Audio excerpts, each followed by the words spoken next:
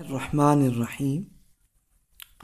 صورت البقرہ کا مطالعہ کر رہے ہیں کہ امت مسلمہ کا تسکیہ نفس اور شریعت جو کہ بیسٹ پریکٹسز ہے، اس میں آپ، ہم یہ، ان لیکچرز میں یہ پڑھ رہے ہیں کہ جو فائنینشیل پالیسیز کیا ہیں، اللہ تعالیٰ کے احکامات میں، اس میں سب سے پہلے تو ایتھکس بتائے گئے کہ بھی جب آپ اللہ کی راہ میں خرچ کریں تو اس طرح کرنا اور کسی کو اذیت نہ دینا، دل آزاری نہ کرنا، احسان جتا، نہ جتانا، بلکہ اچھے طریقے سے بڑی عزت کے ساتھ دینا۔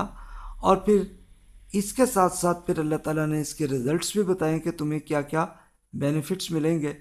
اس کے بعد پھر اللہ تعالیٰ نے ہر ایسے طریقے سے روک دیا گیا کہ جس سے ہم لوگوں کی مال چاہے وہ انویسٹمنٹ ہے ایسٹس ہے، کچھ بھی ہے، تو اس پہ قبضہ کرنے کے سارے خاص طور پر انٹرسٹ کا طریقہ عام رہا ہے، تو اس سے اللہ تعالیٰ نے روک دیا۔ گیا اب اگر قرض لینا پڑا کسی آدمی کو، تو پھر اللہ تعالیٰ نے ایک باقاعدہ ایک لیگل ڈاکومنٹ کا ایک یہ حکم ہے، یہ بھی عنایت کیا اور یہ اس پہ جو آدمی بھی قرض دے رہا ہے یا لے رہا، تو اس کو یہ ضرور کر لینا چاہیے کریڈٹ کے موقع پہ۔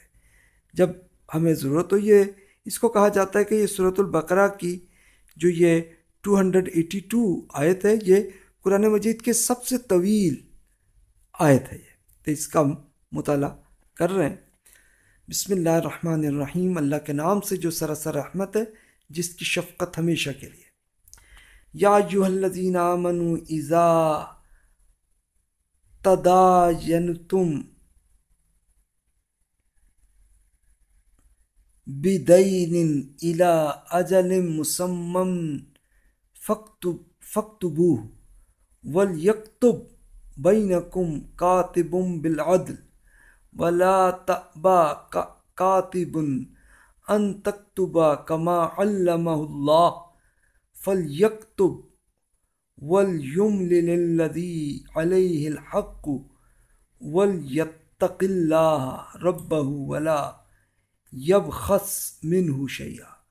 فإن كان الذي عليه الحق صفيئا أو ضعيفا أو لا يستطيع أن أن يمل هو فليملل وليه بالعدل.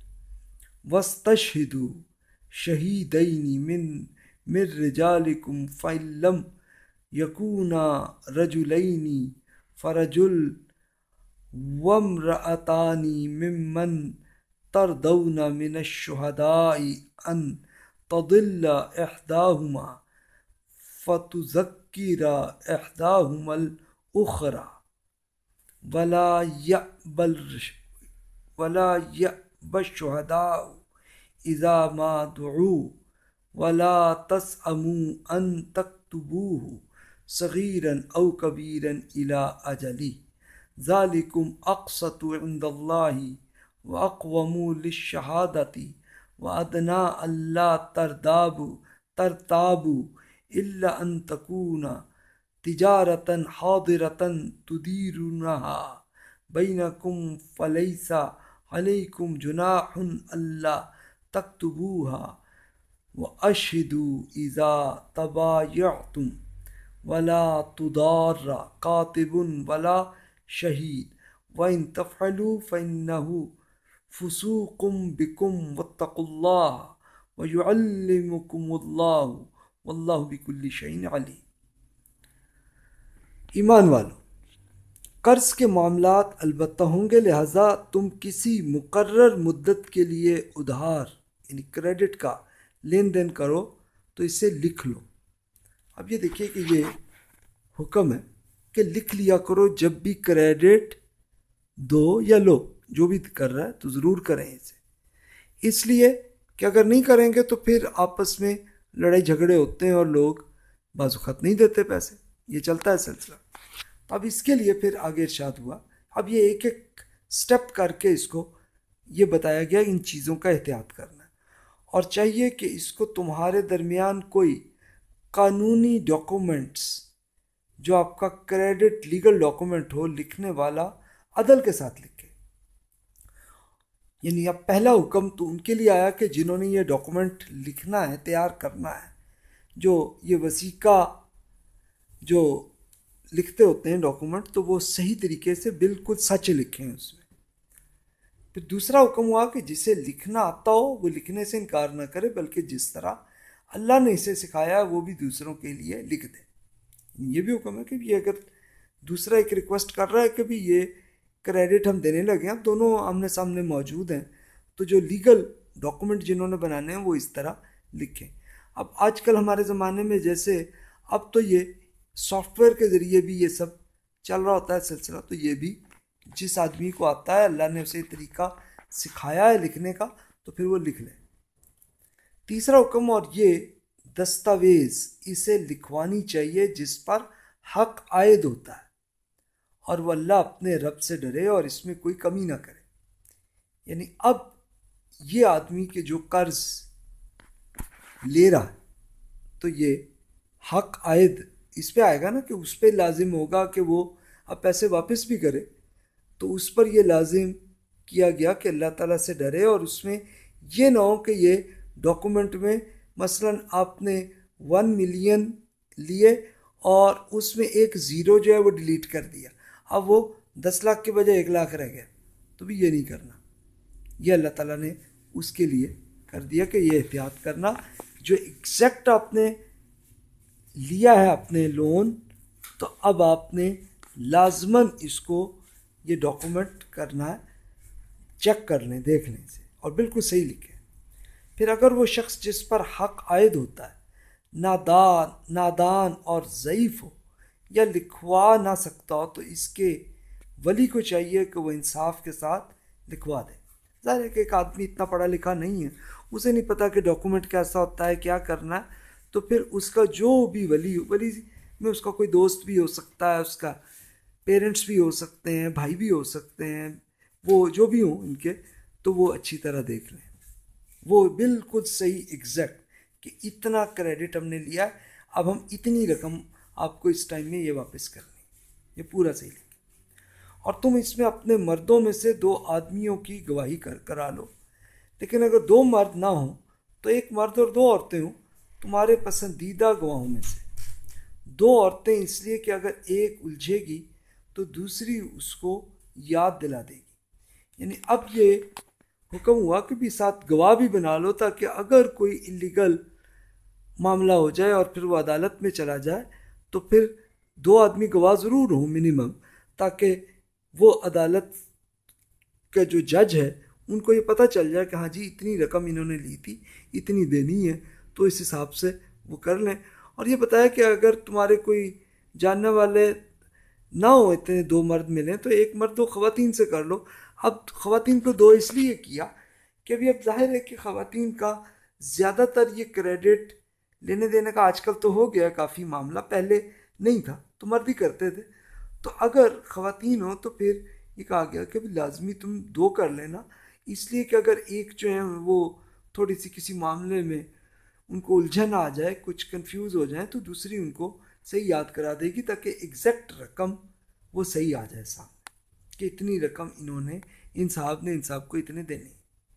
تو یہ اچھا اس سے کہ یہ بعض لوگوں نے، کچھ کالرز نے یہ اشتہار کیا کہ شاید خواتین کے لیے آدھی گواہی ہوتی ہے، تو یہ اس کا کوئی دین میں کوئی ایسا حکم نہیں ہے، بلکہ صرف خاص طور پر جتنے ڈاکومنٹس لیگل ڈاکومنٹس بنانے ہیں، اس کے لیے حکم ہے۔ تو وہاں بتایا گیا کہ بھی چونکہ خواتین زیادہ تر اس کام میں نہیں رہی ہیں، تو اس لیے ایک پوری ہر ہر ٹائم کے لیے قرآن کے حکم ہے۔ تو بھی یہ ہے کہ دو کر لو تاکہ وہ کنفیوز نہ ہو۔ لیکن اگر کوئی اور معاملہ ہے کہ جیسے اگر فائنینشیل آپ نے لون اگر دینا ہے تو وہ معاملہ یا لیگل اس کی بات نہیں ہے، بلکہ کوئی جرم کا معاملہ ہوا اور اب خاتون وہ پوری ایک فل ایک گواہی ان کی ہوگی۔ تو ایسا کچھ نہیں ہے دین میں۔ دین میں صرف خاص طور پر اس کریڈٹ لیگل ڈاکومنٹ کے بارے میں حکم ہے۔ بس۔ کہ وہاں پہ دو آ جائیں تو یہ زیادہ اچھا ہے کہ ان کے لیے آسانی ہوگی، ورنہ اب یہ کہ جرا جب خاص طور پر جرا کی کی جائے گی وہاں پہ عدالت میں، تو ان کے لیے آسانی رہے۔ یہ ان کی آسانی کے لیے انہیں حکم دیا گیا۔ ورنہ ان کی گواہی بالکل مرد اور عورت کی ایک جیسی ہے۔ اس کے بعد پھر یہ بھی فرمایا کہ یہ گواہ جب بلائے جائیں تو انہیں انکار نہیں کرنا چاہیے۔ ظاہر ہے کہ اگر گواہ جو ہے وہ عدالت ان کو بلائے تو پھر وہ آئیں وہاں پہ۔ یہ نہیں کہ وہاں پہ بھاگ جائیں۔ جی میرا تو کوئی تعلق نہیں جی معاملہ چھوٹا ہو یا بڑا، اس کے وعدے تک اسے لکھنے میں سستی نہ کرو۔ اللہ کے نزدیک یہ طریقہ زیادہ مبنی بر انصاف ہے، گواہی کو زیادہ درست رکھنے والا ہے۔ اس سے اور اس سے تمہارے شبوں میں پڑھنے کا امکان کم ہو جاتا ہے۔ تو یہ بھی فرمایا گیا کہ بھی اس کو لازمن لکھوا لیا کرو تاکہ اس کے وعدے تک اسے لکھنے میں کوئی سستی نہ کرو کہ اچھا یار اپنا دوست ہے، اپنا بھائی ہے، اس کو ہم دے رہے ہیں تو اس کو بھی کرو۔ کیونکہ لوگ یہ کرتے ہیں کہ جی اس وقت تو اگنور کر لیتے ہیں۔ نہیں جی اس کی کوئی ضرورت نہیں ہے، لیکن بعد میں جب وہ معاملہ آتا ہے تو پھر پریکٹیکل کیسز ہم نے دیکھے ہیں کہ خود اپنے سگے بھائیوں میں اور بہنوں میں ایک دوسرے پہ مقدمے چلتے ہیں۔ آپ کو اگر انٹرسٹ ہو تو آپ خود آپ عدالت میں جو مقدمے آئے ہوں فائنینشلی اس کو آپ سرچ کر کے آپ خود دیکھ لیجیے کہ اس نوعیت کے ہوئے ہیں کہ ڈاکومنٹ نہ ہو تو پھر جس نے پیسے دیے ہیں وہ پھنس جاتا ہے، اس کو پھر پیسے نہیں ملتے۔ پھر آگے یہ فرمایا ہاں اگر لین دین روبرو یعنی کیش ٹرانزیکشن اور دست گردہ آمنے سامنے نوعیت کو، تو تب اس کے نہ لکھنے میں تم پر کوئی حرج نہیں ہے۔ کہ ٹھیک ہے جی وہاں پہ نہ لکھے کیش ہے، اپنی چیز آپ نے دیکھ لی، آپ کو پتہ چلا کہ اچھی کوالٹی ہے، لے لی، آپ نے اگلے کو کیش دے دیا دیٹس اوکے وہاں ضرورت نہیں ہے۔ لیکن وہ تب آئے گی ضرورت کہ اگر کوالٹی کا آپ کو پتہ نہ ہو، تو پھر آپ تب بھی یہ ڈاکومنٹ ان سے بنوا لیں تاکہ اس طرح یہ ہے کہ اگر بعد میں گھر جا کے پتہ چلے کہ یہ چیز میں یہ پرابلم ہے، واپس بھی کر سکے وہ اس کے بعد ٹرانزیکشن کرتے وقت بھی گواہ بنا لیا کرو کہ جب ٹرانزیکشنز ہو رہی ہوں تو اس وقت بھی گواہ آ جائیں تاکہ عدالت میں اگر معاملہ آئے تو یہ بات بالکل سامنے آ جائے۔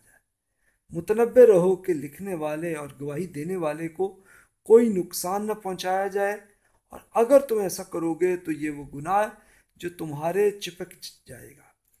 یعنی یہ بھی ساری امت کے لیے حکم دیا گیا کہ بھی اگر جب بھی یہ گواہ جو یا جو لکھ رہے ہیں، ان پہ کوئی نقصان نہیں پہنچانا چاہیے۔ اگر ہوا تو یہ اتنا بڑا گناہ ہے کہ جو ایسی حرکت کرے گا، اس کے لیے بہت بڑا گناہ ان کے لیے آخرت میں آ جائے گا۔ اور اس دنیا میں بھی اللہ تعالیٰ ان پہ کر لیتے ہیں معاملہ، کچھ نہ کچھ ہو جاتا ہے۔ اور اللہ سے ڈرتے رہو اور اس بات کو سمجھو کہ اللہ تمہیں تعلیم دے رہا ہے۔ اور اللہ ہر چیز سے واقف ہے۔ تو اللہ تعالیٰ نے یہ خاص طور پہ ان لوگوں کو فرمایا کہ بھی کہ جن کو پتہ ہی نہیں کہ ڈاکومنٹس کیا ہوتے ہیں اور کیسے معاملات ہیں، تو انہیں بتا دیا گیا کہ بھی دیکھو، یہ اللہ تعالیٰ تمہیں تعلیم دے رہا ہے تاکہ تم اپنے پیسے کو آپ کو آپ کو کیش واپس مل جائے آپ کو۔ مقصد یہ ہے سارا۔ تو اس سے آپ مضبوط کر اچھا پریکٹیکلی یہ دیکھا گیا کہ اکثر ممالک میں جب یہ لیگل ڈاکومنٹ ہوتا ہے تو اس کی واقعی اس پہ پھر مل بھی جاتے ہیں پیسے واپس۔ لیکن اگر عدالتی معاملہ کسی ملک میں اچھا نہ ہو، تو پھر وہاں پہ پھر یہ پرابلمز رہتے ہیں۔ تو آپ پھر یہ بھی دیکھ لیجیے کہ اگر آپ کسی ایسی ملک میں ہیں کہ جہاں لیگل معاملہ وہ اچھا نہیں چل رہا، تو پھر آپ کریڈٹ دیں ہی نا پھر اگر آپ کو پتہ چلا کہ آپ کا دوست یا رشتہ دار واقعی پرابلمز میں ہے، تو پھر آپ دیں۔ اور ذہنی طور پر پھر آپ چلیں ڈاکومنٹ بھی بنا لیں، لیکن پھر ذہنی طور پہ سوچ لیں کہ بھائی امید یہی ہے کہ ان ملیں گے نہیں۔ تو پھر اتنا دے دیں جتنا آپ دے سکتے ہیں تاکہ لوگوں کی خدمت کے طور پر آپ دیں اسے۔ یہ آپ کے لیے مشورہ دوں گا میں۔ پھر اگلی آیت میں مزید حکم بھی عنایت فرمایا۔ وَإِن كُنْتُمْ عَلَى سَفَرٍ وَلَمْ تَجِدُوا كَاتِبًا فَرِحَانٌ مقبوضة فإن أمن بعضكم بعضا فليود الذي فليود الذي تؤمن أمانته وليتق الله ربه ولا تكتمون ولا تم شہادا ولا تم شہادہ ومن یک تم واللہ بما تعملون علیم اور اگر تم سفر میں ہو اور تمہارے کوئی لکھنے والا نہ ملے، تو قرض کا معاملہ رہن یعنی پلج قبضہ کرانے کا کی صورت بھی ہو سکتا ہے۔ پھر اگر ایک دوسرے پر بھروسے کی صورت نکل آئے، تو جس کے پاس رہن کی وہ چیز امانت رکھی گئی ہے، وہ یہ امانت واپس کر دے۔ اور اللہ اپنے رب سے ڈرتا رہے اور اس معاملے میں گواہی کروا لے اور گواہی جس صورت میں بھی ہو، اس کو ہرگز نہ چھپاؤ۔ اور یاد رکھو کہ جو اسے چھپائے گا، اس کا دل گناہ گار ہوگا۔ اور یاد رکھو کہ جو کچھ تم کرتے ہو، اللہ اسے جانتا ہے۔ تو یہ اجازت دی کہ اگر سفر ہے، یا ان کے اسے کیے ہم قیاس کر سکتے ہیں، ایسا سینیریو ہے کہ جب ہمیں کوئی ڈاکومنٹ بھی صحیح طرح نہیں بن رہے یا کوئی اور پرابلم ہے، ہمیں یہ لگتا ہے کہ کریڈٹ واپس نہیں ملے گا، تو پھر ہم پلیج کر سکتے ہیں۔ اب اس کے لیے آج کل جیسے چلتا ہے کہ اگلے کی پراپرٹی کے ڈاکومنٹس لے لیتے ہیں۔ تو یہ اس طرح کے ایک بثبوت کے طور پر ہے کہ اگلے کو اگلا قرض واپس دے بھی۔ تو دے دے، تو اس کو واپس کر لیں یا آپ کو ویسے ہی بیچ میں بھروسہ آ گیا اگلے پہ، تو پھر اسے واپس کر لیں۔ تو اس سے یہ بھی چیز کلیئر ہے کہ جناب ہم یہ نہیں کر سکتے کہ اگلے سے پلچ کے طور پر کوئی ڈاکومنٹ یا کوئی ایسٹس ہے اس کو استعمال نہیں کر سکتے۔ تو یہ ایسی حرکت بالکل نہیں کرنی۔ اب لوگ، ورنہ تو پھر سود کی شکل بن جاتی ہے۔ یعنی مثلا آپ نے کسی کو کہا کہ ٹھیک ہے جی تمہیں، میں یہ دس لاکھ دے رہا ہوں، اپنا یہ جو گھر ہے، یہ تم مجھے دو۔ یا اپنی گاڑی ادھر دے دو مجھے۔ چلو پلچ کے طور پر لے لی کچھ دیر کے لیے۔ تو اس میں آدمی پھر اسے رینٹ کار کے طور پر لگا دے یا اس گھر کو میں رینٹ لے کے مزید کماتا ہے، یہ جائز نہیں۔ یعنی اس پہ تو آپ دیکھیے کہ بڑی اچھی اچھی مثالیں ملتی ہیں نیک لوگوں میں۔ جیسے ابو حنیفہ رحمۃ اللہ علیہ کے بارے میں ایک یہ بتایا جاتا ہے کہ انہوں نے قرض دیا تھا کسی کو تو اب بیچ میں وہ ایک جگہ پہ دھوپ تھی اور وہی صاحب کے گھر کے ساتھ تھے، لیکن وہ اس کا سایہ بھی انہوں نے نہیں لیا۔ کہتے نہیں بھئی یہ مجھے تو لگتا ہے کہ یہ میں اگلے سے کوئی انٹرسٹ نہ لے لوں گا تو ایک ان کا ایک ایتھیکلی ان کا ذوق تھا کہ انہوں نے کہ بھی یہ میں اگلے سے مزید کچھ کوئی بھی فائدہ نہ اٹھاؤں۔ تو یہ انہوں نے کیا۔ تو اب دیکھیے کہ یہ اسپیشلی یہ احکامات کہ آپ کو کریڈٹ سیل کے طور پر یا ویسے ہی کریڈٹ کے طور پر آپ دے رہے ہیں، قرض کے طور پہ، تو پھر ان چیزوں کا خیال کرنا ہے۔ تو یہ حکم تھا اور اس میں پھر آپ مزید سوچ سکتے ہیں کہ اس میں اللہ تعالیٰ نے ہمیں کیا policies and procedures financial matters میں کیا کیے۔ اب یہاں پہ یہ معاملہ مکمل ہوتا ہے۔ اس کے بعد اسی صورت کی آخری تین آیات جو ہیں، وہ خاص طور پہ اس کا تعلق ایمان سے متعلق ہے۔